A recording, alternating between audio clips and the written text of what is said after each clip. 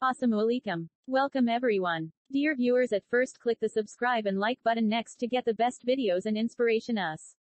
Today we will try to tell about the Arleigh Burke class destroyer.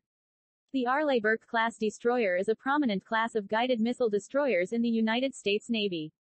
Named after Admiral Arleigh A. Burke, a distinguished World War II naval officer and chief of naval operations, these destroyers have been the backbone of the U.S. Navy's surface fleet since the early 1990s. They were designed to serve as multi-mission surface combatants capable of operating in various roles and environments. With a length of approximately 505 feet 154 meters, and a displacement of around 9,200 tons, the Arleigh Burke class destroyers are formidable vessels, equipped with advanced technology and weaponry.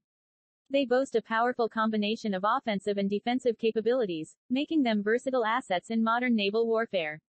The destroyers are armed with an Aegis combat system, which integrates various sensors and radars, providing exceptional situational awareness and robust missile defense capabilities. They can carry an array of missiles, including Tomahawk cruise missiles for long-range strike missions and Standard missiles for air defense. Additionally, they are equipped with torpedoes and guns for anti-submarine and surface warfare. Arleigh Burke-class destroyers are also equipped with advanced electronic warfare and anti-submarine warfare systems, further enhancing their combat effectiveness. Their propulsion systems allow them to achieve high speeds, ensuring swift response times and maneuverability in critical situations.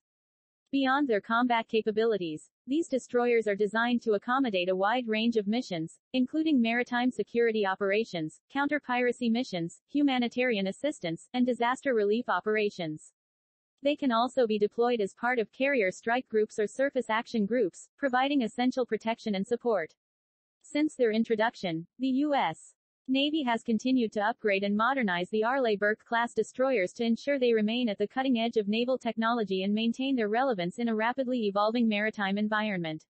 Their adaptability, advanced weaponry, and robust systems have solidified their place as some of the most potent and reliable warships in the world, serving as a critical component of the U.S. Navy's global presence and defense strategy.